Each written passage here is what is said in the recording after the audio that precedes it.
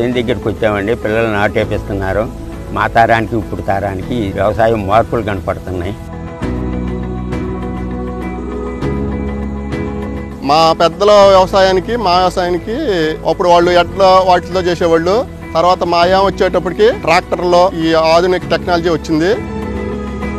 ఇప్పుడు ఇంకా కొంచెం టెక్నాలజీ పెరిగింది. ఈ రైతు భరోసా కేంద్రాలు గ్రామాల్లో పెట్టడం వలన మేము ఉయ్యూరు అట్లా వెళ్ళకుండా దూర ప్రదేశాలకు వేయకుండా అందుబాటులోకి వచ్చినాయి. బాగానే ఉంది. రైతు భరోసా కేంద్రాలను ఇస్తున్నారు ఎరువులు అందిస్తున్నారు. బాగానే ఉంది రైతు భరోసా కింద పదమూడు వేలన్నర అందుతున్నాయండి రైతులకి. మా తాతగారు వ్యవసాయం చేశారు మా నాన్నగారు వ్యవసాయం చేశారు. ఇప్పుడు నేను కూడా వ్యవసాయం చేస్తున్నాను. మా తాతగారు చేసే వ్యవసాయం కన్నా మా నాన్నగారు చేసే వ్యవసాయంలో కొంచెం ఇంప్లిమెంట్ పెరిగింది. మా నాన్నగారి నుంచి తర్వాత నేను